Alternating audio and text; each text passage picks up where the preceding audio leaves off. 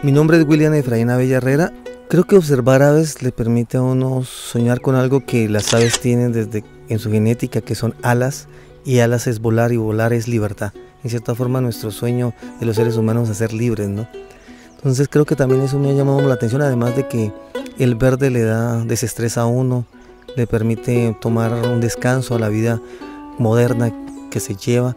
Entonces eso ha sido por la razón, por cierta forma, de, de impulsar este, este, espacio verde, este espacio de encuentro con la naturaleza, este espacio de encontrarse con uno mismo y además ayudar a, darse conciencia de que somos ricos ambientalmente, que tenemos una biodiversidad grande tanto en flora y en fauna y que estos espacios es importante conservarlos, restaurarlos para que esa, esa riqueza que tenemos eh, la podamos dar a otras generaciones, a las generaciones que vendrán.